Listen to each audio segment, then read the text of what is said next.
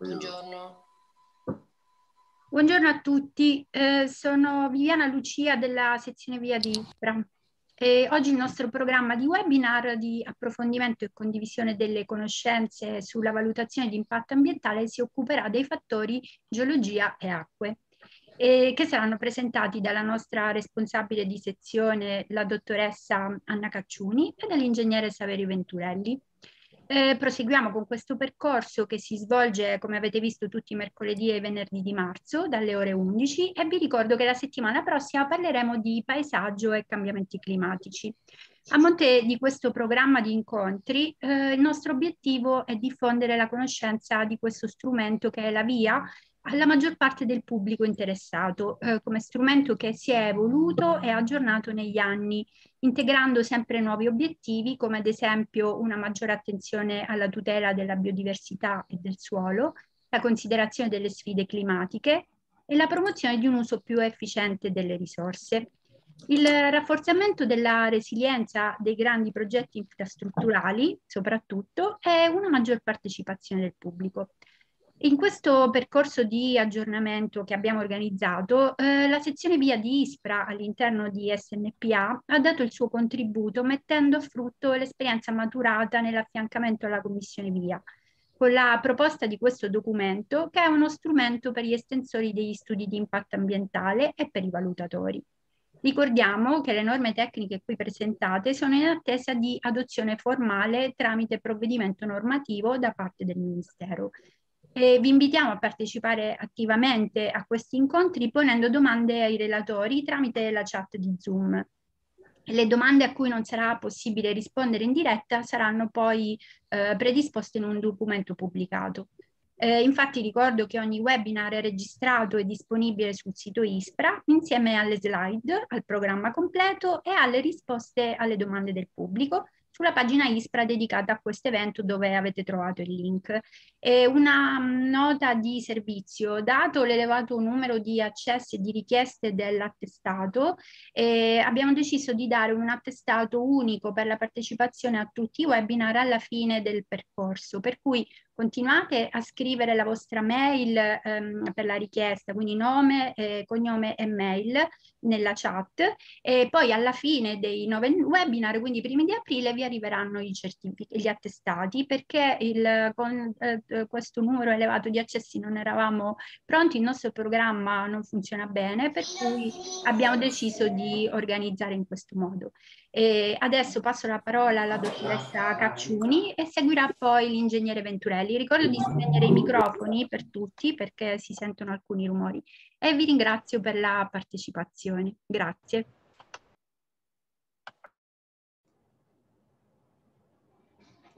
No, le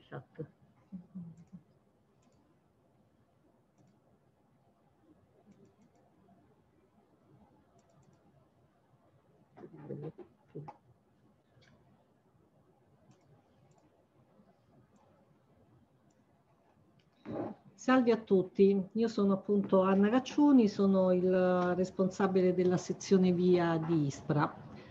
Per riprendere un po' il, il discorso e l'inquadramento eh, relativo alle norme tecniche che vi andiamo a presentare, eh, vorrevo richiamare eh, il contesto normativo nel quale ci troviamo eh, come tutte le persone appunto che si interessano di questa materia, sappiamo che il decreto legislativo 104 2017 ha abrogato il DPCM del 1988 che recava appunto eh, le norme tecniche per la redazione degli studi di impatto ambientale. In questo momento quindi siamo in assenza di una specifica normativa, ma i punti di riferimento per la redazione degli studi di impatto ambientale sono quelli contenuti all'interno dell'articolo 22 della legge e all'interno dell'allegato 7 alla stessa, che reca appunto i contenuti dello studio di impatto ambientale. Altro strumento utile per la redazione degli studi di impatto ambientale sono poi le linee guida predisposte dalla comunità europea. All'interno di questo uh, percorso lo stesso uh, articolo 25 del decreto, 100, del decreto legislativo 104 2017 prevedeva che eh, fosse il Sistema Nazionale per la Protezione dell'Ambiente a proporre delle linee guida nazionali e norme tecniche per la documentazione appunto della documentazione finalizzata alla valutazione di impatto ambientale. In questo contesto il Ministero dell'Ambiente, oggi MITE, ha chiesto ad ISPRA eh, di mh, mm, redarre naturalmente con l'SNPA come capofila dell'SNPA eh, la normativa tecnica e il primo documento che abbiamo appunto elaborato è questa linea guida che fornisce appunto le norme tecniche per la uh, redazione degli studi di impatto ambientale. Questa uh, norma tecnica è stata pubblicata all'interno uh, della nostra collana appunto di linee guida SNPA e ha appunto lo scopo di integrare quelle che sono le indicazioni dell'articolo 22 e dell'allegato 7 e sono valide per tutti i contesti e per tutte le categorie di opere degli allegati 2 e 3 della legge stessa. Eh, quindi il, queste norme tecniche si collocano come un documento integrativo dell'allegato 7. Il percorso eh, che abbiamo descritto, che abbiamo delineato per la redazione degli studi di impatto ambientale che abbiamo esposto nel primo webinar è qui riassunto. Praticamente eh, in questo momento stiamo affrontando in modo più approfondito quello che è il secondo step, ossia eh, una volta appunto definita eh, l'opera e effettuate le analisi e le motivazioni di coerenza delle stesse con gli strumenti pianificatori vigenti, eh, lo step 2 prevede appunto una analisi approfondita dello stato dell'ambiente, quindi la definizione dello scenario di base. E come l'abbiamo trattato lo scenario di base? Naturalmente abbiamo fatto riferimento alle eh, normative, alle tematiche ambientali, facendo anche diciamo, un percorso di ehm, eh, analisi e approfondimento di come le tematiche ambientali sono state nel tempo considerate e ehm, esaminate. Praticamente se noi partiamo dalla uh, prima direttiva sulla via, quella uh, del 1985, la 337, vediamo che eh, per quanto riguarda gli aspetti che riguardano la componente, eh, fra virgolette, fino adesso definita suolo, sottosuolo, ehm, si parla semplicemente di soil, soil e eh, water mentre ehm, questa uh, declinazione appunto di suolo ed acqua diventa più puntuale e più stringente all'interno delle eh, DPCM 1988, quello che recava appunto le norme tecniche oggi non più vigenti. In questa elencazione estremamente puntuale e specifica delle componenti e fattori ambientali, cosa troviamo? Troviamo una casella indicata come ambiente idrico all'interno del quale ricadono tutti gli aspetti relativi alle acque, quindi acque sotterranee, superficiali, quindi acque dolci, salmastre, marine, eh, acque di transizione e eh, non solo considerate come componenti ambientali, ma anche come risorsa. E poi il suolo e il sottosuolo che vengono intesi sotto il profilo geologico, geomorfologico e pedologico, nel quadro naturalmente dell'ambiente che si sta esaminando, ma anche come risorsa non rinnovabile. E naturalmente la normativa, la sensibilità ambientale di conseguenza nel tempo oh, sono andata avanti. Sono andata avanti all'interno della uh, direttiva 52 del 2014, recepita appunto col decreto legislativo 104 2017, eh, vediamo che mh, lo scenario viene in qualche modo ampliato. In questo caso si parla di land, soil, water, air and climate praticamente abbiamo questo uh, land che nella traduzione italiana prende la uh, connotazione di territorio, territorio, suolo, acqua, aria e clima.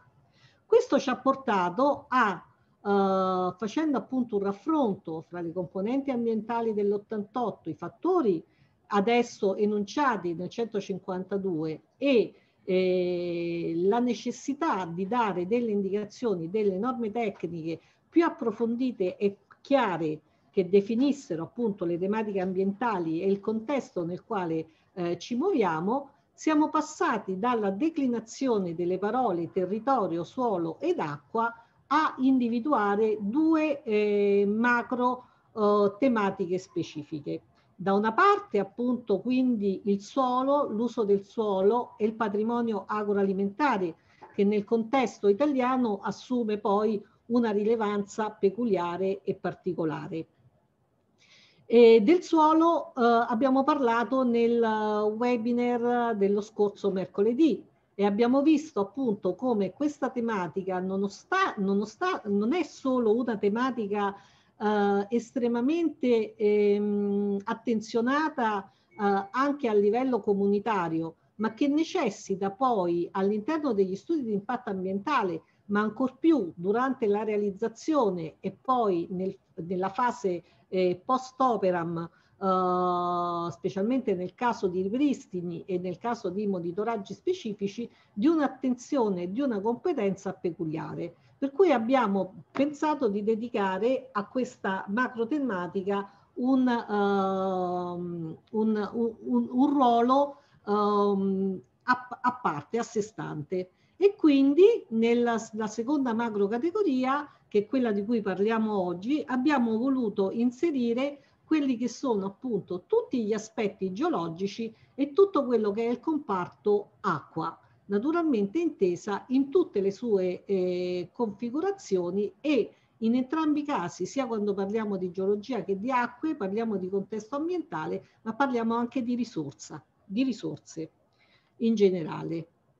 E, tra l'altro lo stesso passaggio viene fatto dalla comunità europea. Se noi eh, ci riferiamo alle linee guida europee, laddove si considerano nel box 8 quelli che sono i tipi di dati da considerare per lo scenario di base, vediamo nell'elencazione specifica riferirsi sia al suolo, alla qualità dei suoli, ma separatamente alla geologia, alle acque superficiali e sotterranee e costiere, intese appunto nella, nella loro completa ec um, eccezione. Quindi i fattori ambientali nella nostra elencazione sono suolo, uso del suolo, e patrimonio agroalimentare intesi sotto il profilo pedologico e come risorsa non rinnovabile. Uso attuale del territorio con specifico riferimento al patrimonio agroalimentare e nella, nella parte D abbiamo la geologia e le acque, quindi il sottosuolo e il relativo contesto geodinamico, le acque sotterranee e le acque superficiali, interne di transizione marine, anche però il rapporto con gli altri componenti, specialmente con il rapporto poi con quello che è il comparto biotico, anche perché non dobbiamo scordare che eh, è un tutt'uno estremamente collegato, cioè da un lato abbiamo sì le componenti abiotiche che possono essere appunto la componente geologica in senso stretto, ma eh, e la trattazione eh, di un certo livello della componente acque, ma naturalmente l'interazione fra questo comparto e il comparto biotico e il comparto climatico è quanto mai eh, stringente. La uh, eh, esemplificazione di quello che è il ciclo dell'acqua ne è una valida conferma. L'altra cosa su cui mi preme richiamare l'attenzione sono appunto le definizioni che abbiamo inserito all'interno della normativa appunto parliamo di area di studio distinguendo in area vasta e area di sito. Naturalmente, specialmente nella trattazione della componente geologica, è quanto mai importante partire da una configurazione eh, geologica regionale e via via scendere di scala fino alla definizione specifica dell'area eh, dell di sito sulla quale naturalmente le conoscenze e gli approfondimenti dovranno essere peculiari e specifiche. E altro aspetto molto importante è la caratterizzazione dei dati che vengono utilizzati negli studi di impatto ambientale. E I dati naturalmente devono essere completi, aggiornati e di adeguato dettaglio. E l'altra cosa importante è l'indicazione delle fonti, eh, è importante eh, fare anche eh, tesoro di ehm, altri eh, dati che derivano appunto oh, dalla progettazione piuttosto che dati elaborati nell'ambito di altri studi. Devono essere evidenziate le metodologie e, e utilizzate per la raccolta e l'individuazione di questi dati, ma altra cosa importante è anche evidenziare e fornire eventuali ehm, aspetti relativi alla difficoltà di eh, reperire i dati. Naturalmente per quanto riguarda il patrimonio geologico, specialmente per quello che è l'inquadramento dell'area uh, dell'area vasta, è estremamente importante eh, fare riferimento a tutto quello che è il patrimonio disponibile eh, sul portale del Servizio Geologico d'Italia, dove è possibile trovare eh, moltissime informazioni eh, che vanno dalla uh, cartografia, il Servizio Geologico d'Italia è organo cartografico dello Stato per quanto riguarda la materia geologica, ma anche dati puntuali, cioè la banca dati dei sondaggi ad esempio, ed altri importanti aspetti. Altra fonte di dati è anche il progetto. Ricordo che eh, la normativa di via fa riferimento all'articolo 5 per la redazione degli studi di impatto ambientale al progetto di fattibilità così come eh, definito e descritto dal decreto legislativo 50-2016 all'articolo 23, ossia come è definito nel codice dei contratti pubblici. In tale contesto il progetto di fattibilità è redatto sulla base dell'avvenuto svolgimento di indagini geologiche, idrogeologiche, idrologiche, idrauliche, sismiche e quindi è di eh, estremo, eh, estremo dettaglio. E anche naturalmente indagini geotecniche con, uh, i sondaggi, con sondaggi specifici. Infatti richiamo l'attenzione sul fatto che si parla di svolgimento di indagini, quindi nonostante siamo in una fase progettuale eh, che potremmo eh, diciamo, considerare preliminare, nel progetto di fattibilità è espressamente previsto uh, che avvengano e siano svolte indagini specifiche. Scusate. Eh, questo è un esempio di un progetto, in questo caso un progetto preliminare. Eh, siamo in una procedura di via speciale, una procedura che adesso non viene più applicata, però questo semplicemente per farvi vedere come all'interno della documentazione che viene presentata per uno studio di impatto ambientale eh, la parte diciamo progettuale è molto spesso appunto considerevole e molto consistente e di supporto poi eh, sia per la redazione degli studi di impatto ambientale ma anche di supporto a chi valuta gli studi stessi. All'interno dei progetti preliminari quindi ritroviamo cartografie eh, geologiche, idrogeologiche, geomorfologiche, sismiche, ehm, nonché eh, sondaggi geotecnici e quindi eh, planimetrie relative alle campagne, quindi alla loro ubicazione, e poi naturalmente relazioni sismica, relazioni idraulica che possono essere appunto di supporto nel processo eh, valutativo.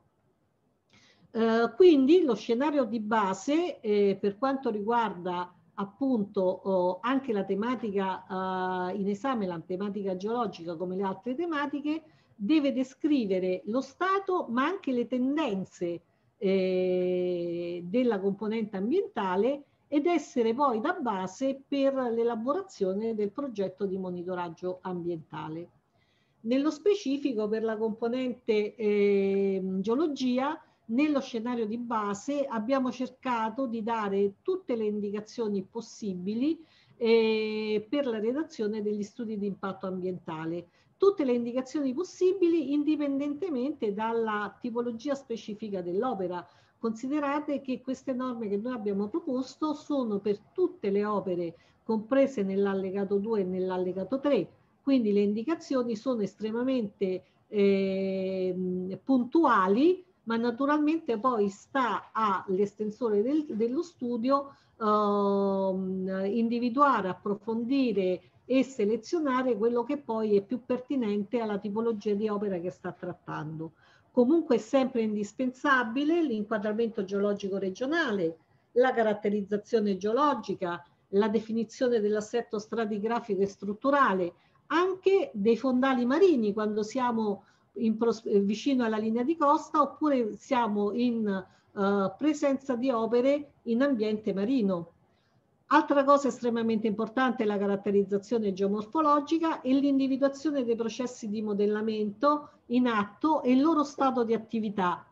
con particolare attenzione allo stato evolutivo dei processi di modellamento, anche in considerazione degli eventi estremi e dell'effetto quindi che i cambiamenti climatici possono avere sull'aria. Eh, l'interazione dell'aspetto dei cambiamenti climatici viene sottolineato sia dalla normativa europea che dalla nostra normativa. È importante poi anche la caratterizzazione litologica, eh, ma con un aspetto particolare se siamo in presenza appunto di, di litotipi che possono contenere eh, minerali o sostanze pericolose per la salute umana.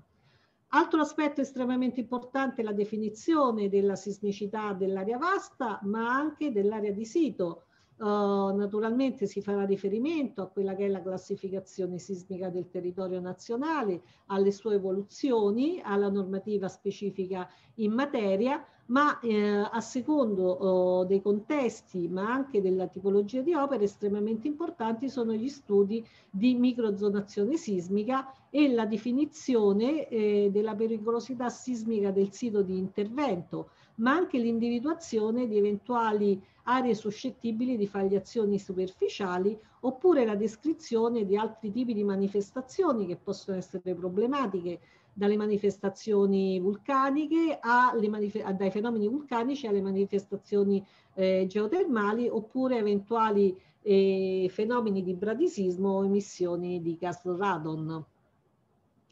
Eh, quindi eh, è importante la caratterizzazione delle aree soggette a fenomeni di subsidenza oppure di sollevamento eh, che possono essere sia di origine antropica ma anche dovute ad esempio a inizione o estrazione di fluidi dal sottosuolo. Eh, la possibilità di eh, formazioni di depressioni, cavità eh, oppure eh, sprofondamenti dovuti a cavità sotterranee oppure la presenza di depositi eh, di riporto ehm, o eh, spianamenti di aree eh, dovute appunto ad, ad, attività antropiche sono estremamente importanti nella ricostruzione appunto eh, del sito e dell'area che andiamo a considerare. Eh, altro aspetto è quello dei siti contaminati, eh, se siamo in presenza e in vicinanza degli stessi, facendo riferimento alla specifica normativa su questi, va data uh, contezza della caratterizzazione e delle eventuali eh, attività di bonifica che sono in corso in quelle aree. Eh, va verificata la presenza di geositi, eh, o altri luoghi ascrivibili al patrimonio geologico e verificare se vanno messe poi in atto delle attività di specifica tutela. E, mh, altro aspetto estremamente eh, importante è quello appunto di eseguire ed acquisire eh, rilievi e indagini specifiche con un adeguato eh, livello di dettaglio. Uh, inoltre vanno individuate anche quelle che sono eventuali interazioni con il comparto uh, biotico. Stessa cosa per le acque sotterranee. Naturalmente eh, in questo caso si potrà far riferimento alla uh, pianificazione e programmazione di settore vigente appunto nelle aree e alle eventuali misure di salvaguardia che sono previste.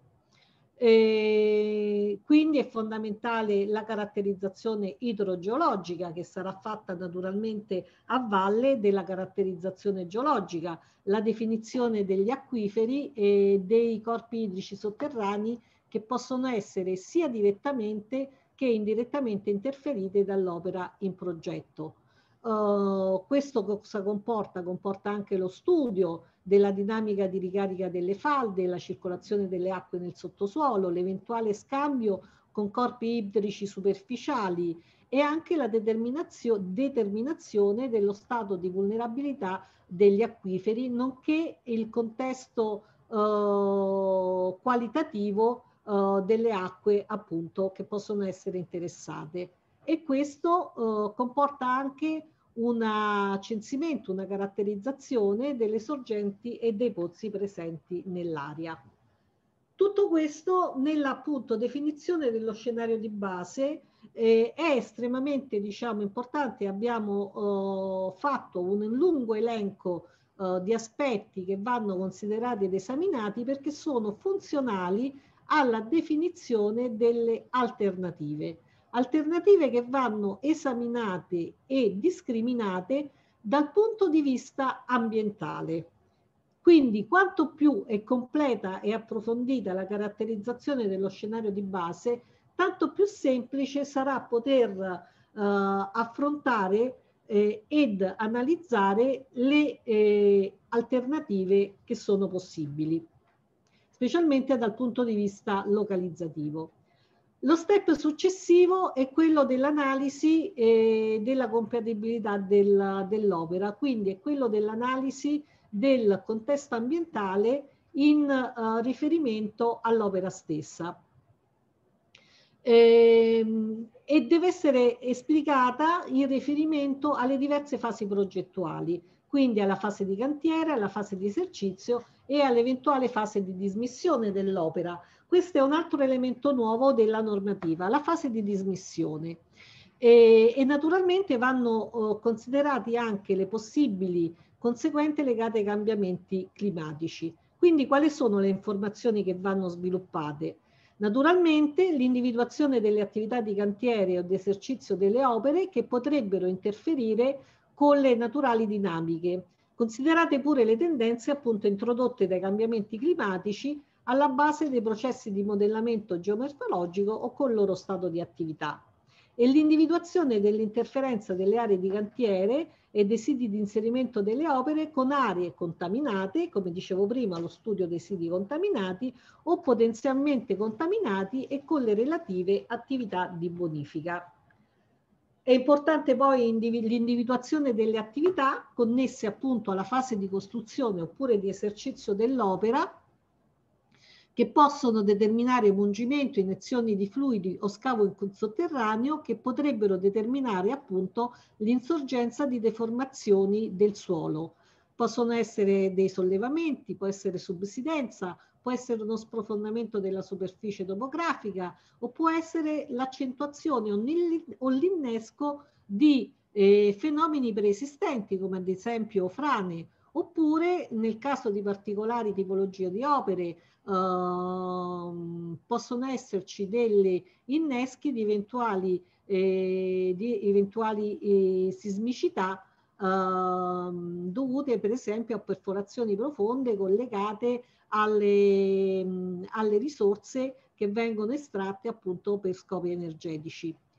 L'altra cosa che va fatta è la definizione dei possibili effetti di alterazione degli equilibri esistenti in termini appunto di stabilità e comportamento geomeccanico dei terreni. Naturalmente questo dipende sempre opera per opera e contesto ambientale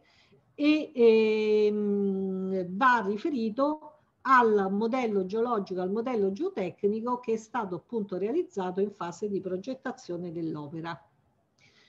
Uh, in, nel, sia durante le eh, attività di cantiere che di esercizio bisogna anche considerare, come dicevo prima, le interferenze con le dinamiche dell'ambiente marino costiero e definire gli eh, possibili alterazioni degli equilibri esistenti, sia in termini di alterazioni morfologiche dei fondali che perdita di biodiversità. Uh, per quanto riguarda le acque sotterranee, eh, anche in questo caso uh, lo studio delle variazioni dello stato quali, quali qualitativo dei corpi idrici, sia superficiali che sotterranei, delle aree interferite direttamente o indirettamente dall'opera in progetto, devono, essere, eh, devono tendere a stabilire la compatibilità ambientale e la sostenibilità degli interventi previsti eh, appunto dal, dal, progetto, sia in relazione a quelli che sono gli obiettivi di eh, qualità dei corpi idrici, ma anche in relazione al bilancio idrico eh, del eh, bacino direttamente coinvolto. Naturalmente eh, in tutta questa serie di analisi eh, si, possono, si può fare riferimento alle diverse linee guida eh, che sono pubblicate appunto dal Sistema Nazionale per la Protezione dell'Ambiente. Qui ve ne cito, vi cito quello appunto che reca l'analisi dello stato quantitativo e il monitoraggio dei corpi idrici sotterraneo. Sempre per la compatibilità dell'opera, naturalmente l'interferenza con le sorgenti, con i pozzi, specialmente se siamo in presenza di pozzi destinati al consumo umano, va trattato con estrema attenzione, discriminando tra aree di ricarica e aree interferite direttamente eh, dal, dal progetto. Uh, altro aspetto di particolare attenzione che sviluppiamo nella norma tecnica è quello delle mitigazioni e compensazioni che nel caso appunto della componente eh, geologica e acque eh, in generale devono tendere alla salvaguardia della risorsa naturale sia in termini qualitativi che quantitativi e alla non alterazione degli equilibri e delle naturali dinamiche morfo-evolutive considerate pure le tendenze indotte dai cambiamenti climatici. Poi naturalmente ehm, se siamo in presenza di rischio sismico, vulcanico, idraulico, idrogeologico, rischi di sprofondamento o uh, altre eh, situazioni, eh, bisogna fare in modo di mitigare detti rischi e di non aggravare ulteriormente eventuali elementi di pericolosità che possono essere appunto eh, presenti nell'area, nel territorio o innescati dall'opera che stiamo realizzando.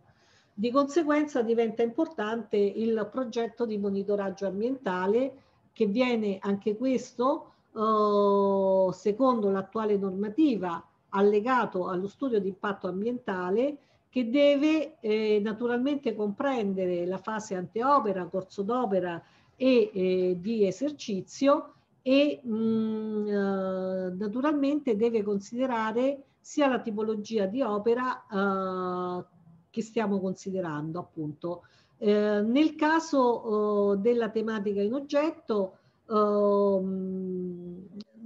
si farà ricorso a eh, sopralluoghi e a tutte quelle che sono le, ehm, gli elementi ehm, che sono venute alla luce durante lo studio di impatto ambientale per capire appunto qual è il uh, modo migliore per individuare le aree a rischio e vedere appunto come sviluppare il progetto di monitoraggio ambientale. E, ehm, praticamente eh, vanno sottoposte a monitoraggio quelle aree che sono a rischio già prima dell'inizio dei lavori e quindi eh, molto spesso hanno già dei monitoraggi in essere, ma vanno eh, indirizzati e specificati ancora meglio in relazione alle opere e alle attività che si intendono eh, eseguire. Oppure eh, quelle aree che sono a rischio in quanto i lavori di realizzazione dell'opera oppure le indagini necessarie alla sua progettazione possono innescare dei fenomeni di pericolosità oppure sono a rischio in quanto l'opera potrebbe nel corso del tempo produrre degli effetti negativi in quell'area o nelle aree circostanti. E poi, lo dicevo prima, un aspetto a parte è il monitoraggio eh, per quanto riguarda la tutela del patrimonio geologico e dei geositi. La stessa cosa per le acque sotterranee, naturalmente in funzione della interferenza del progetto con le eventuali acque sotterranee, con sorgenti e quindi con la risorsa idrica, andranno messe in uh, attività uh, degli specifici eh, strumenti di monitoraggio. E con questo passerei la parola al collega Saverio Venturelli per uh, continuare diciamo, la trattazione con uh, l'aspetto specifico delle acque eh, superficiali.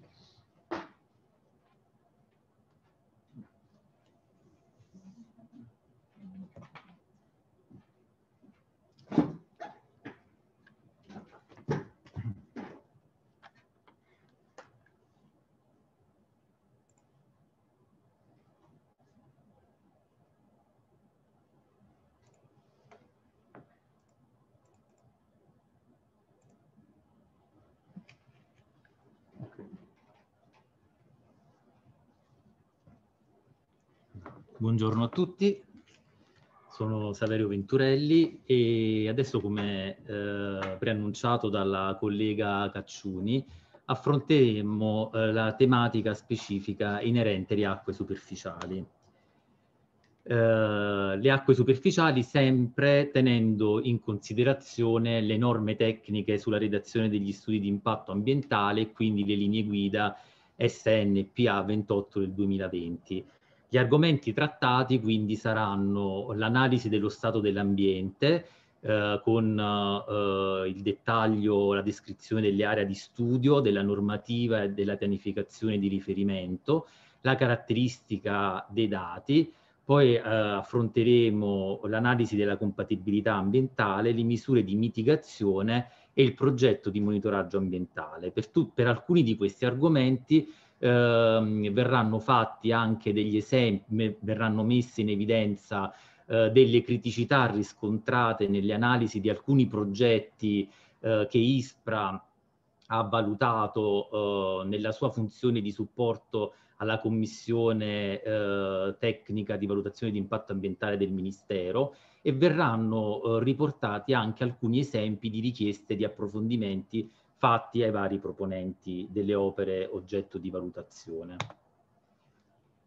Quindi i, in, uh, i dati, le informazioni che devono essere contenute in uno studio di impatto ambientale uh, per quanto riguarda il fattore acque superficiali devono riguardare principalmente uh, tre macro temi. Il primo macro tema è l'analisi dello stato delle acque superficiali, analisi dello stato che può essere desunto attraverso la conoscenza della normativa e della pianificazione di riferimento e ehm, per poi arrivare all'individuazione delle criticità nell'area in cui si inserisce l'opera e alla definizione dello scenario di base. Una volta individuato lo scenario di base, si passa alla valutazione degli effetti, degli impatti sulle acque superficiali e eh, pertanto un'analisi, si valuta un'analisi di compatibilità ambientale dell'opera e delle eventuali misure di mitigazione per poi passare al, all'individuazione eh, degli indicatori eh, da inserire nel piano di monitoraggio via eh, da allegare appunto allo studio di impatto ambientale. Tutti, eh, diciamo, questo, questo processo questo schema di flusso è eh, chiaramente eh, da riferirsi in relazione all'opera in progetto e ehm, il livello informativo ehm, da eh, inserire nello studio di impatto ambientale è almeno equivalente a quello di un progetto di fattibilità tecnico-economico economica così come eh, definito dall'articolo 23 del codice degli appalti e le informazioni eh, comunque devono essere tali da consentire la compiuta valutazione degli impatti ambientali sulle acque superficiali. In, in questa presentazione eh, faremo eh, particolare quindi riferimento alle acque superficiali, ma eh, lo schema logico può essere replicato anche per, acque, per altre tipologie di acque, per le acque sotterranee, per le acque di transizione e per le acque marino-costiere. Quindi, il, come diceva eh, precedentemente la dottoressa Cacciuni, eh, fondamentale è eh, l'individuazione dell'area di studio che per quanto riguarda i corpi idrici superficiali deve essere estesa a tutta l'area vasta con specifici approfondimenti relativi all'area di sito e quindi nel, nello studio di impatto ambientale deve essere,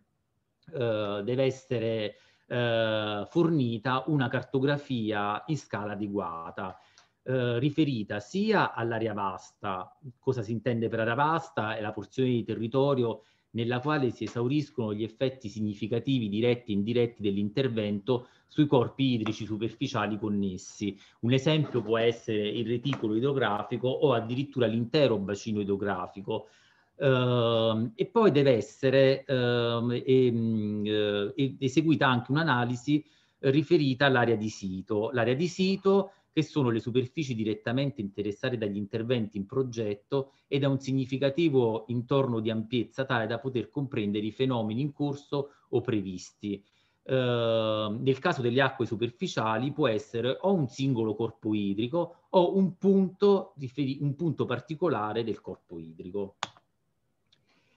Quindi passiamo al primo step, analisi dello stato delle acque superficiali. Uno studio, uno studio di impatto ambientale deve necessariamente ehm, prevedere un'analisi della normativa, della pianificazione della pro programmazione inerente alle acque superficiali. Uh, questo perché dall'analisi della norma, da, da questa analisi possono essere desunte le informazioni e quindi i dati eh, necessari al proponente per eh, delineare lo scenario di base. Quindi ehm, è ehm, indispensabile eh, conoscere, per chi affro affronta la redazione di uno studio di impatto ambientale, la normativa di riferimento inerente al fattore ambientale che si sta descrivendo. In questo caso, per le acque superficiali, eh, abbiamo che il riferimento principale è la direttiva quadro acque, nel, una direttiva ehm, per, ehm, eh, nata ehm, ai fini della tutela eh, sia qualitativa ma anche da un punto di vista gestionale delle risorse idriche. Ehm, alla direttiva quadro acque eh, sono seguite nel corso degli anni eh, diverse direttive più specifiche, ad esempio quelle eh, inerenti alle acque sotterranee, le acque potabili, le acque di bagnazione e così via, oltre a una serie di eh, decisioni e di regolamenti. In, in, Italia la direttiva sulle acque superficiali è stata recepita dal decreto legislativo 152 del 2006 agli articoli 53 e 176 ed, eh, ed da una serie di decreti attuativi.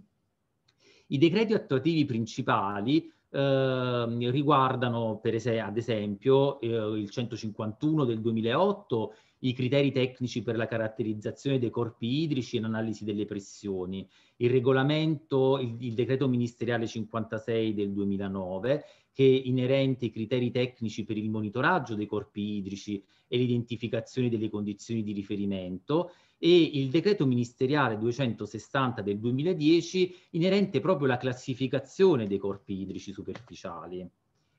Uh, inoltre sono stati emanati diversi altri decreti legislativi riguardo ad esempio gli standard di qualità ambientale e l'elenco delle sostanze prioritarie da ricercare nel settore delle politiche delle acque. Uh, ad ampliare uh, la, eh, le linee di indirizzo per l'analisi eh, delle acque superficiali, sono stati di recente emanati anche due decreti direttoriali eh, del Ministero eh, dell'Ambiente inerenti le linee guida sulla valutazione ambientale ex ante sulle derivazioni idriche e il decreto direttoriale 30 eh, per quanto riguarda i metodi per determinare il deflusso minimo vitale e il deflusso ecologico. Eh, da quanto detto, quindi, si evince che eh, la normativa, eh, avere ben chiara la normativa di riferimento per le acque superficiali eh, risulta essere indispensabili. La normativa e anche quindi la pianificazione. La pianificazione di riferimento per le acque, di, di, il piano di riferimento per le acque superficiali e il piano di bacino distrettuale, che è uno strumento conoscitivo regolato dall'articolo 65 eh, del 152 del, 2000, del 2006 ed è uno strumento conoscitivo uh, per uh, la tutela quali quantitativa delle risorse idriche. I piani di bacino possono essere anche uh, diciamo um, redatti per piani stralcio e il, sono redatti dalle autorità di bacino. Attualmente però le autorità di bacino sono state soppresse e attualmente l'Italia ehm, vige, sono vigenti le autorità distrettuali. Autorità distrettuali ehm, che eh, diciamo eh, sono ehm, eh, diciamo, l'organo che dirige eh, le, ehm, i sette distretti idrografici in cui è divisa l'Italia secondo il, eh, il, decreto del Ministero dell'Ambiente 294 del 2016 entrato in vigore nel 2017 e per la precisione sono sette autorità distrettuali eh, così come riportato nella, eh, nella figura. Quindi dicevo, i piani di bacino possono essere redatti attraverso i piani stralci. Il principale è il piano di gestione del distretto idrografico, che è uno strumento operativo per attuare una politica coerente e sostenibile de della tutela delle acque attraverso un approccio integrato dei diversi aspetti gestionali ed ecologici alla scala di distretto idrografico. Poi, poi vi è il piano di bilancio idrico il piano di assetto idrogeologico, attualmente diciamo per la parte idraulica sostituito dal piano di gestione rischio alluvioni redatto in ottemperanza della direttiva eh, 2007-60 recepita dall'ordinamento italiano dal decreto legislativo 49 del 2010.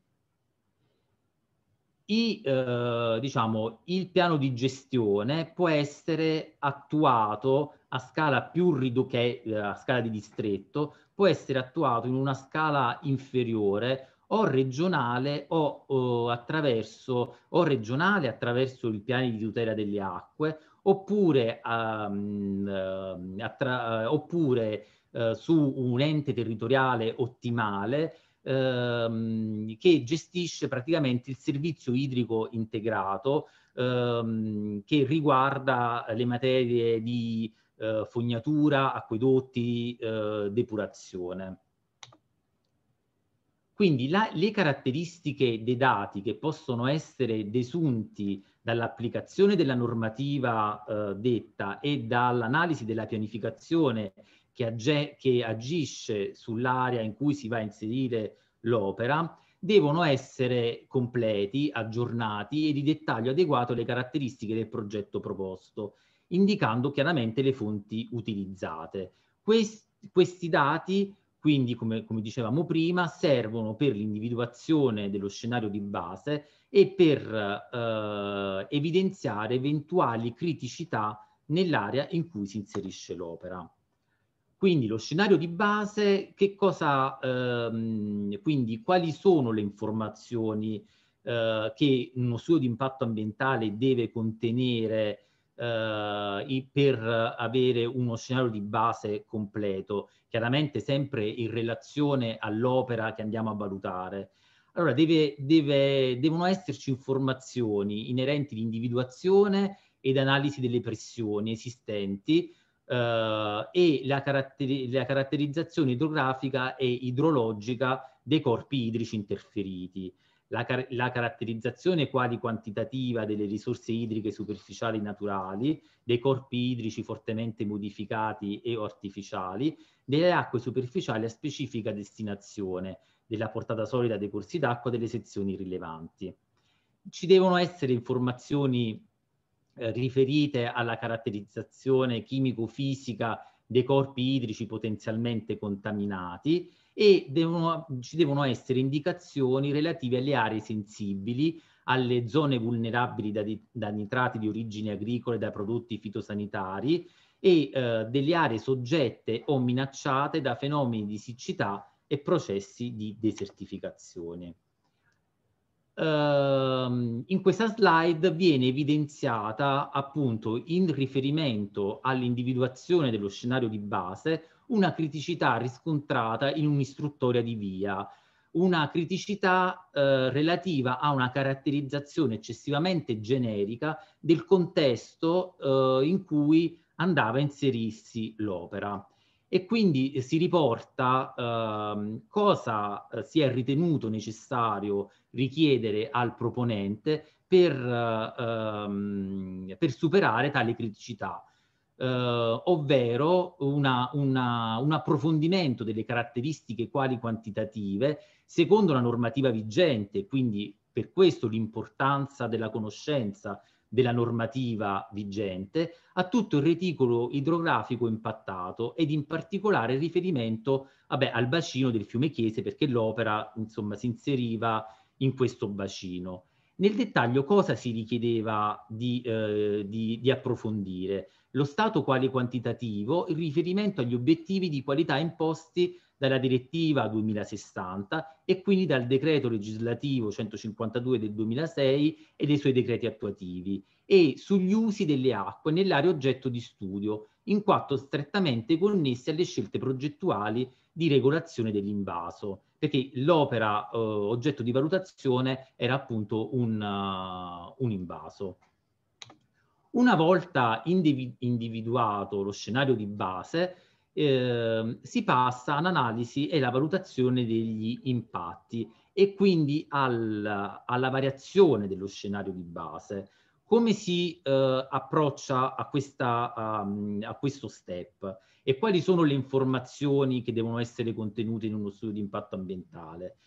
Devono essere contenute eh, le eh, informazioni inerenti alle variazioni, quindi dello stato quali quantitativo dei corpi idrici superficiali, nelle aree interferite direttamente o indirettamente dall'opera in progetto, al fine di stabilire la compatibilità ambientale e la sostenibilità degli interventi previsti dall'opera in progetto, in relazione agli obiettivi di qualità e ai tempi stabiliti per il raggiungimento di detti obiettivi e al miglioramento definiti dalla normativa vigente di settore. Vorrei porre l'attenzione a come la normativa è sempre i, i, gli obiettivi della normativa eh, e della pianificazione sono sempre sullo sfondo e quindi sono sempre da tenere in considerazione eh, nello svolgimento dello studio di impatto ambientale. Quali possono essere? Eh, chiaramente la verifica di compatibilità ambientale è in funzione delle opere, delle attività e dei singoli interventi. Uh, qui ho riportato per esempio un, uh, delle, delle, valutazioni che devono essere eseguite uh, in riferimento a eh, delle infrastrutture lineari, ovvero quando oggetto dello studio di impatto, della valutazione di impatto ambientale e quindi dello studio di impatto ambientale possono essere delle strade, delle autostrade, delle ferrovie. Uh, cosa deve essere affrontato? La verifica di compatibilità idraulica del progetto e quindi ad esempio la verifica degli attraversamenti dei corpi idrici superficiali oppure e anche la caratterizzazione dei sistemi di raccolta, trattamento e allontanamento uh, delle acque meteoriche, dette acque di piattaforma, per l'opera in progetto e le relative aree di cantiere. Quindi vediamo, uh, ad esempio, nel, in un'istruttoria affrontata, um, come, uh, e dalle, dalle, immagini riportate nella slide, uh, come può cambiare un'area un, un con l'inserimento di un'infrastruttura che in questo caso è un ponte su un corpo, un corpo idrico superficiale. Uh, chiaramente qui si, mh, si, lega la sicurezza idraulica con gli effetti ambientali che l'inserimento di un'infrastruttura uh, può avere sul corpo idrico uh, impattato. Ehm, per quanto riguarda le infrastrutture, eh, il eh, riferimento è alla circolare del 2019 dei lavori pubblici, che sono le norme tecniche per le costruzioni. E eh, cosa occorre rilevare quando ehm, eh, vi è l'inserimento di un, un ponte eh, su un corpo idrico? Sicuramente le variazioni l'innalzamento dei livelli, l'ipotetico innalzamento dei livelli idrici e quindi il franco di sicurezza, le variazioni di, della distribuzione della velocità della corrente del corpo idrico, la variazione della capacità di trasporto solido della corrente e le variazioni della capacità di laminazione in alveo e quindi le variazioni, eventuali variazioni delle aree di esondazione. Tutto questo deve essere inserito in uno studio idrologico e in uno studio idraulico che deve essere, eh, diciamo, a supporto delle informazioni da eh, poi eh, da, da, da eh, riportare nello studio di impatto ambientale per vedere appunto gli effetti che questi possono avere sul corpo idrico.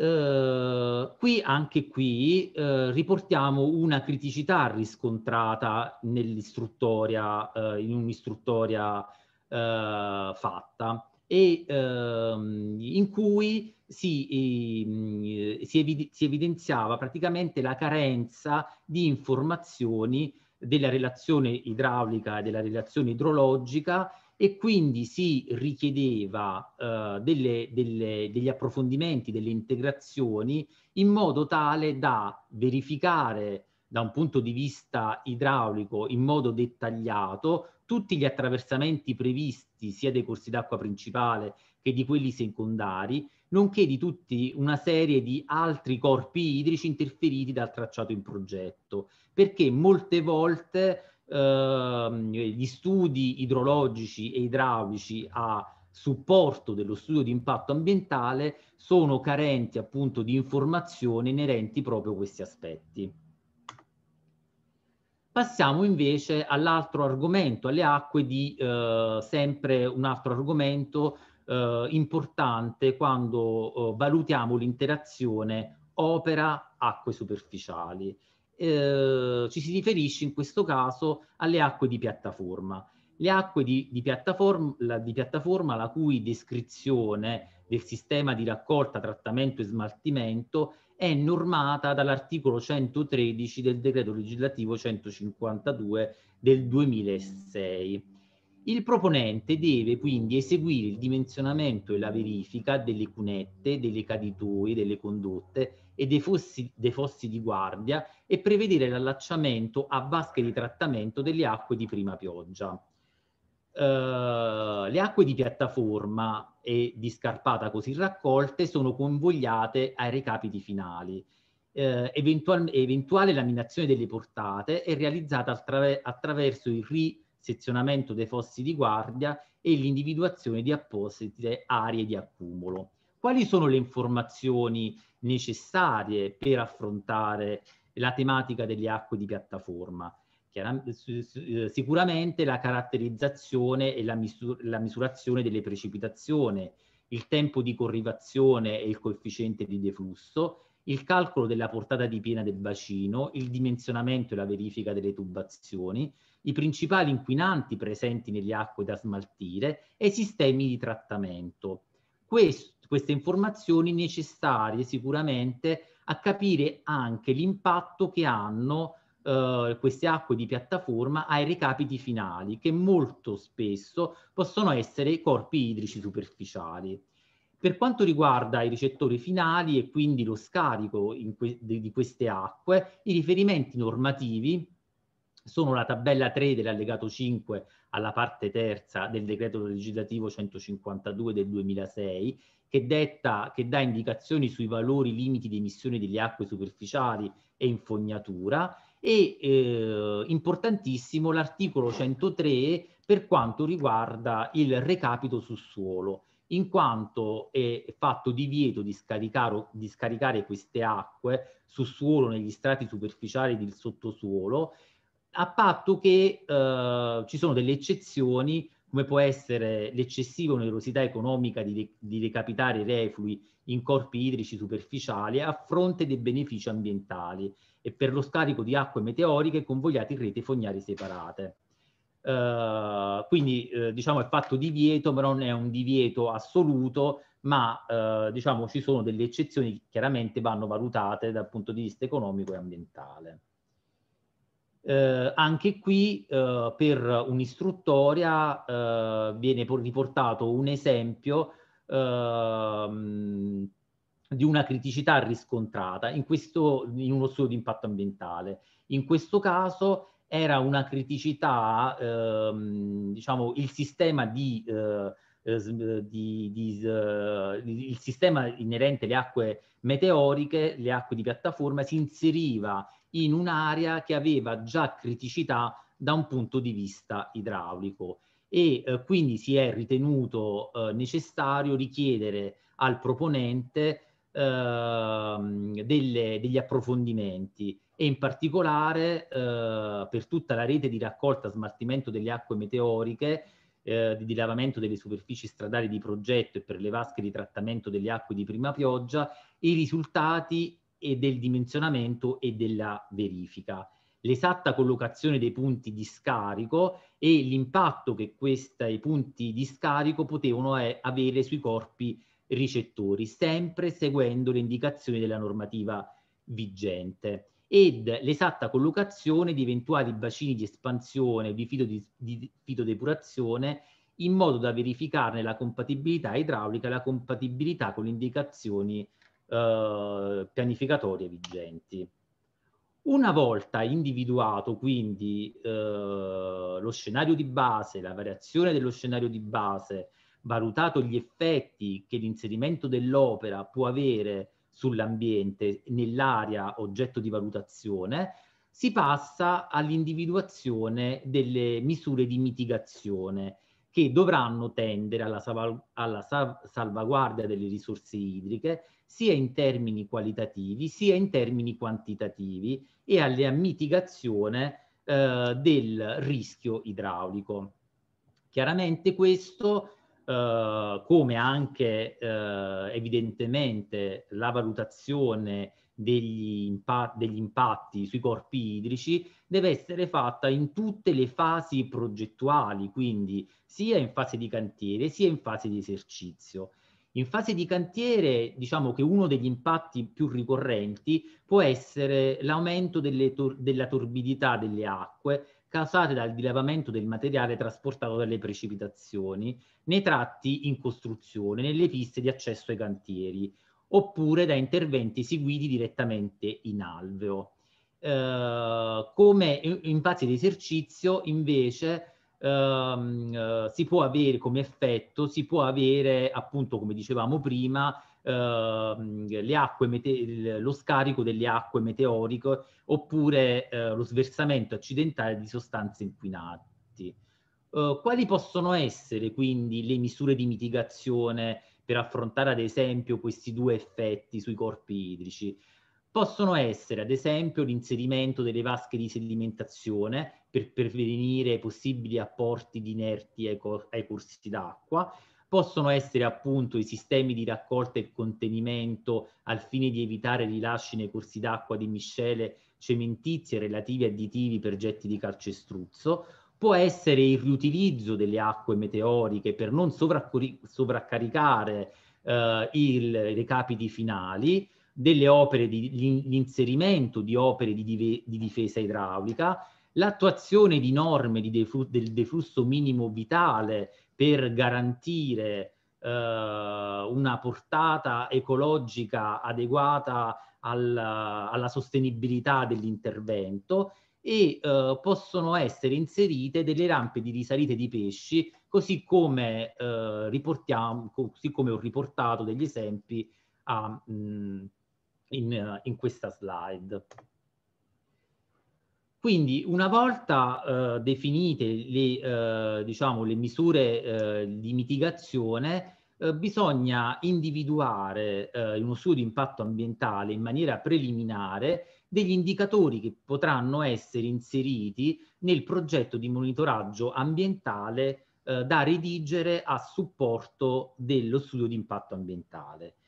Il progetto di monitoraggio ambientale relativo alla componente ambiente idrico superficiale è quindi finalizzato a valutare, in relazione alla costruzione e all'esercizio dell'opera, quindi in tutte le fasi di realizzazione dell'opera, le eventuali variazioni rispetto alla situazione ante operam e quindi allo scenario di base di tutti i parametri e o indicatori utilizzati per definire le caratteristiche quali quantitative dei corpi idrici potenzialmente interessati dalle azioni di progetto. Quindi tutti quegli indicatori eh, che ci serviranno nel corso eh, della realizzazione dell'opera eh, per individuare, per definire lo scenario di base, la variazione dello scenario di base e gli eventuali eh, interventi di mitigazione.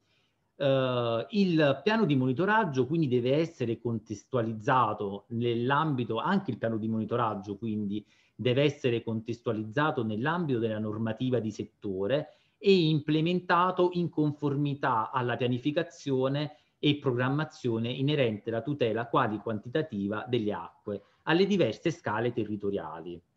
Eh, dovrà quindi consentire di valutare durante tutte le fasi la non compromissione degli obiettivi di qualità ambientali fissati proprio per i diversi corpi idrici, fissati proprio dalla normativa e dalla pianificazione che deve essere presa in riferimento, in riferimento eh, durante la redazione dello studio di impatto ambientale. Quindi si vede che i due documenti, sia il progetto di monitoraggio ambientale sia lo studio di impatto ambientale, hanno come basi gli, le, stesse, eh, diciamo, st le stesse informazioni. Come riferimento eh, per la redazione per l'individuazione di questi indicatori e quindi del piano di monitoraggio, eh, si, eh, ci si può fare riferimento alle linee guida nelle, nelle more delle emanazioni di nuove norme tecniche, nelle linee guida per la predisposizione del piano di monitoraggio, degli indirizzi metodologici specifici all'ambiente idrico, che costituisce un atto di indirizzo eh, redatto da, da ISPRA, che costituisce un atto di indirizzo per lo svolgimento delle procedure di valutazione di impatto ambientale in, attu in attuazione delle disposizioni contenute all'articolo 28 del 152 del 2006.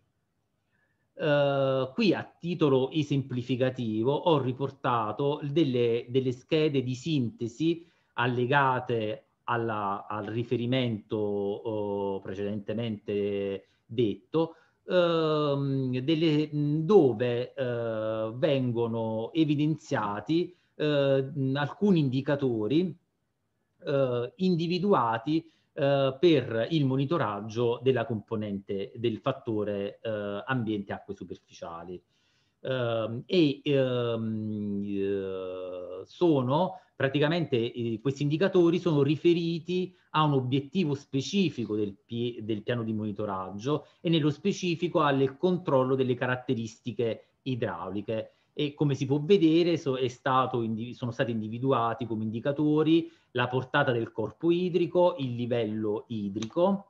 eh, la portata solida e il livello batimetrico. Uh, altro esempio, un altro obiettivo specifico può essere per il, per il piano di monitoraggio inerente uh, ai uh, corpi idrici superficiali, può essere il controllo degli, scari degli scarichi e in tale, in tale contesto ehm, sono stati individuati come eh, indicatori eh, o come indici la caratterizzazione degli scarichi inquinanti sversati per bacino e eh, le caratteristiche quali quali qualitative delle acque in input o in output dell'impianto di un impianto di depurazione. Con questo avrei terminato. Gra eh, grazie.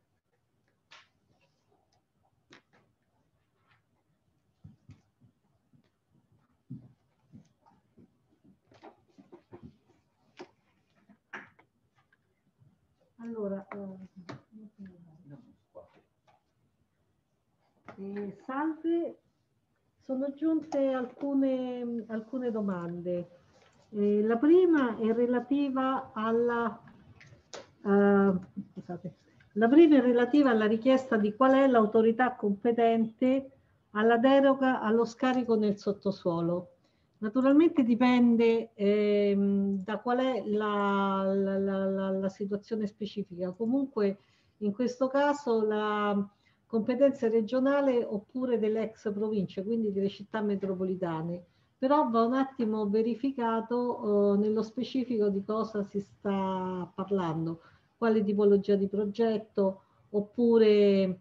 eh, il contesto insomma generale della, della, della um, proprio relativa alla tipologia di opera e di scarico. E tra l'altro nel caso in cui ci si trovi nel caso di una valutazione di impatto ambientale di carattere regionale eh, in quel caso c'è il uh, provvedimento, il provvedimento unico quindi in un'unica uh, procedura possono essere richieste più autorizzazioni, fra cui anche questa. Quindi va un attimo visto nello, nello specifico, non so se chi ha fatto la domanda vuole specificarla ulteriormente, potremmo poi darle risposta. Invece un'altra domanda che è giunta è relativa, scusate la ricerco, uh, allora.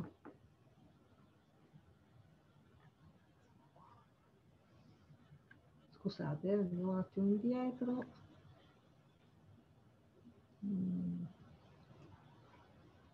Allora, Com'è possibile conciliare la necessità di definire le caratteristiche progettuali nel dettaglio per la redazione di uno studio di impatto ambientale completo approfondito con il livello di dettaglio dello studio di fattibilità? Uh, mettiamo ad esempio la uh, necessità di valutare il franco di sicurezza di un ponte su un corso d'acqua. Questo può essere fatto solamente conoscendo nel dettaglio la sezione del corso d'acqua in corrispondenza del pozzo e dunque occorre eh, progettare il ponte nel dettaglio. Allora, per quanto riguarda la normativa generale, eh, appunto si fa riferimento al livello oh, di eh, fattibilità di progetto, però nella normativa stessa è esplicitamente indicato che devono essere dati tutti gli elementi necessari per una completa valutazione di impatto ambientale so se il collega sì, sì, infatti... vuole aggiungere qualche altra cosa. Sì, sì, infatti nella slide insomma c'era scritto che il livello minimo è il livello di fattibilità. Chiaramente devono essere eh, nello studio di impatto ambientale presenti tutte le informazioni necessarie eh, ai, al fine di valutare gli effetti eh, sul corpo idrico, quindi sicuramente Ehm, tutte le informazioni eh, utili, necessarie per l'individuazione del franco di, di, sicurezza e quindi eh, tutte le informazioni inerenti, quindi si parla di sicurezza in questo caso, sicurezza idraulica che poi eh, viene riflessa su, negli effetti ambientali, tutte le informazioni per valutare questo franco devono essere sicuramente eh, riportate dal proponente nello studio di impatto ambientale. Eh, indubbiamente questo è un tema caldo, infatti c'è anche il commento di Marina Venturi che dice appunto ehm, per la valutazione di alcuni impatti è necessaria la presentazione almeno di un definitivo. Io ho sempre chiesto il preliminare ma con informazioni a livello di definitivo per gli elementi che hanno conseguenze che devono essere valutate dal punto di vista ambientale. Infatti è corretto in questo modo e tra l'altro la normativa dà facoltà proprio di agire così. L'altra è a 11.08. Allora, tre domande. Nella trattazione della matrice geologia sono stati riportati esempi concreti. Dove è possibile reperire tali informazioni non sono stati riportati esempi concreti dove è possibile reperire tali informazioni di dettaglio. Uh, allora, non ho rimesso degli, degli, esempi specifici perché praticamente mh, la situazione è sempre molto, molto, molto diversificata, dipende appunto uh, molto da quella che è la tipologia di, delle opere. E, mh, esempi possono essere... Eh, non saprei dare delle indicazioni. Nelle, nelle pubblicazioni però relative alla valutazione di impatto ambientale molto spesso ci sono degli esempi specifici su trattazione di opere particolari. Eh, probabilmente eh, anticipo che eh, nella seconda metà di quest'anno noi faremo anche un corso di valutazione di impatto ambientale online e in quel caso daremo degli, degli esempi più, più specifici. Poi se eh, c'è una situazione particolare di riferimento, eh, non so se la persona che ha fatto eh, la domanda vuole, mh, mm, vuole, vuole darne, mh, vuole esporla, potremmo dare appunto poi risposta specifica. Eh, anche perché eh, diciamo le tipologie di opere dal punto di vista eh, geologico sono diciamo fino a un certo punto schematizzabili in categorie. Naturalmente eh, possiamo parlare di eh, opere lineari o opere puntu puntuali, ma anche nel caso delle opere lineari molto spesso nella loro trattazione ci possiamo trovare davanti a degli aspetti peculiari. Quello che mi viene adesso in mente è l'esempio per esempio di un'infrastruttura viaria eh, che abbiamo seguito qualche anno fa, eh, dove ehm, il piano di monitoraggio a un certo punto ha messo in evidenza che nello studio di impatto ambientale non si era minimamente considerato un deposito uh, di uh, materiale di risulta di un'antica miniera di cui non si aveva più informazione neanche dal punto di vista storico della, della sua ubicazione, anche perché questa miniera aveva cambiato diversi nomi e quindi solo in alcuni cataloghi era riportata con un nome e alla fine eh, non era stato messo in luce che l'infrastruttura tagliava appunto il deposito di risulta di questi materiali, consideriamo che era una miniera di ehm, antimonite, quindi materiali comunque con un certo carico di inquinanti e questo ha messo un po' in crisi eh, la realizzazione ed è stato il tutto evidenziato soltanto con la costruzione e con il piano di monitoraggio per le terre e rocce da scavo, che è un'altra normativa che comunque poi rientra nel contesto appunto ambientale e geologico. La seconda domanda è la MZS deve essere sempre presente nello studio di impatto ambientale o solo uh, sulla base della sismicità uh, dell'area vasta? Uh, no, non dipende, dipende pure qui, siamo un po' nel caso, nel caso per caso, dipende appunto dalla tipologia di opera, dal livello di, eh, e dal livello di progettazione e naturalmente quella di area vasta è sempre necessaria. Poi la microzonazione va specificata volta per volta, a seconda appunto delle tipologie. E, ehm, attraverso quali analisi devono essere individuate o meno e caratterizzate le aree soggette a, a subsidenza nel SIA. Beh, la prima, la prima analisi si fa sempre attraverso un discorso di, di letteratura e poi quando si va nel caso del monitoraggio specifico dell'area uh, durante la realizzazione progettuale molto spesso si ricorre a uh, indagini eh, di tipo topografico per vedere appunto le differenze, gli abbassamenti di quota o altro indagini topografiche molto spesso con sistemi diciamo di ultima, di ultima generazione. Vediamo se ci sono altre domande.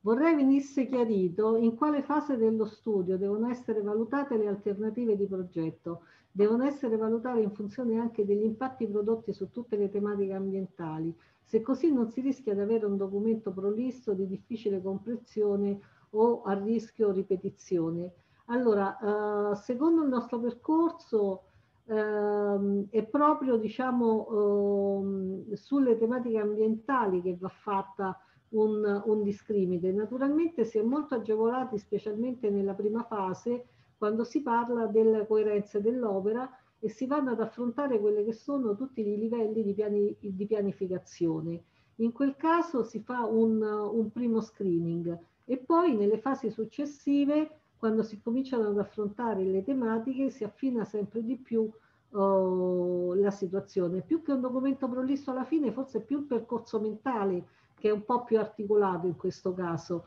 E poi con uh, diciamo, un ottimo scenario di base e una um, considerazione specifica dell'analisi delle coerenze con gli strumenti progettuali è possibile dare delle alternative che siano delle alternative valide, non diciamo eh, alternative esposte solo per dover esporre delle alternative perché previste da norma.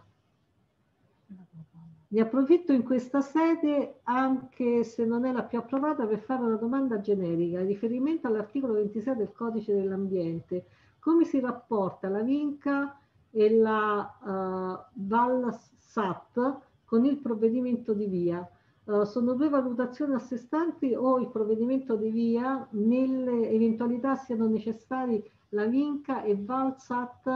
uh, integrata integra queste ultime. Allora, non so che cosa si intenda per acronimo ValSat. Eh, oppure Valsal Salute, non, non, non, capisco. Per quanto invece riguarda la Vinca e eh, la via eh, sono oh, all'interno dello studio di impatto ambientale eh, la Vinca deve, avere una, uh, deve seguire tutta la normativa della Vinca e deve avere documenti specifici che sono questi, quelli richiesti nella valutazione appunto di incidenza ambientale. Poi naturalmente il provvedimento è un provvedimento unico, uh, quindi eh, il, uh, il, parere sarà un unico parere che terrà conto della, uh, del, del, del, SIA e della, e della Vinca. Sulla Vinca poi faremo un approfondimento uh, in, in, uno dei prossimi webinar, quindi eventualmente possiamo anche esplicitare ancora di più il, il tema. E poi se eh, eh, chi ha fatto la domanda sta ascoltando e può specificare per Valzap che cosa intende, eh, possiamo, possiamo, Hanno detto che, si, che equivale alla VAS. Sì, ah, la VAS, la VAS ah, naturalmente... Valutazione di sostenibilità ambientale e territoriale, quindi sì. Eh, è proprio la VAS. Eh, sì, allora uh, è, una, è propedeutica Naturalmente va tenuto conto quando poi dopo si passa alla fase di valutazione di impatto ambientale. Nella norma tecnica abbiamo un capitolo all'inizio proprio sul rapporto fra, nel, noi l'abbiamo affrontato fra VAS e VIA, quindi può essere quello il punto di riferimento per, per questa situazione. Quest'anno. Questa, questa è sì, arrivo. rispondere. Le norme tecniche SNPA possono essere usate da subito, dovranno essere prima recepite da una norma. Allora, le norme tecniche abbiamo oh, riscontrato che molti proponenti già le utilizzano, cioè gli studi di impatto ambientale di molti proponenti sono già redatte secondo questa norm uh, normativa tecnica, anche perché non c'è un altro riferimento, quindi per molti eh, l'hanno ritenuta utile e quindi l'hanno utilizzata. Per essere vincolanti devono essere recepite da una norma specifica dal parte del Ministero dell'Ambiente, tra l'altro di concerto col Ministero delle Attività Culturali e col Ministero della Salute, quindi credo sarà un percorso anche un po' lungo. Quella delle 12.21 che comunque è... Se un'istanza di via viene presentata in questo periodo, l'autorità competente può richiedere legittimamente che il proponente segua le nuove linee guida anche se non ancora ufficializzate da apposito decreto, e ho già risposto nella domanda precedente, un po' la stessa. Eh, credo volessero intendere la VIS. Uh, sulla VIS, anche sulla VIS e del rapporto abbiamo parlato nel primo uh, intervento tematico, quello sulla salute. La collega ha fatto proprio il rapporto fra la trattazione della, della salute umana all'interno del SIA e la trattazione della VIS. E su questo faremo un approfondimento, se non eh, erro, il giorno 20, 26. Eh, vedo un attimo, ve lo confermo. Quindi praticamente il 26, il 26 marzo eh, avremo ospite tra l'altro una collega dell'Istituto Superiore di Sanità che eh, ci parlerà appunto della, della VIS. Esiste un'indicazione sulla validità temporale dei dati bibliografici portate, portati a supporto dell'analisi dello scenario di base. Eh, certo che c'è una, dipende, dipende dalle tematiche. Eh, in alcuni casi c'è una validità temporale, in altri casi diciamo i dati sono utilizzabili più a lungo e caso per caso, tematica per tematica. Naturalmente se parliamo della qualità delle acque, ovvio, Uh, dovrò sempre riferirmi ai dati più aggiornati che è possibile reperirli. Questo è per Saverio. Saverio? No, eh. Il progetto di base, nel caso di deviazione di un corso d'acqua, deve prevedere l'analisi di suolo oggetto della deviazione. E deve prevedere l'analisi di suolo, dipende dal tipo di, di sì, deve prevedere non solo l'analisi del suolo, ma anche della vegetazione ripariale che viene interessata dalla deviazione stessa. A questo punto mm, mi dicono che devo interrompere il collegamento, quindi vi saluto e eh, le domande che non abbiamo risposto, naturalmente come per gli altri web, la risposta sarà data per iscritto e le risposte saranno pubblicate sulla pagina uh, dell'evento. Grazie a tutti per la partecipazione e vi aspettiamo naturalmente eh, il prossimo, il prossimo mer mercoledì, mercoledì eh, dove appunto ci sarà la trattazione del paesaggio, patrimonio culturale e beni materiali. Arrivederci.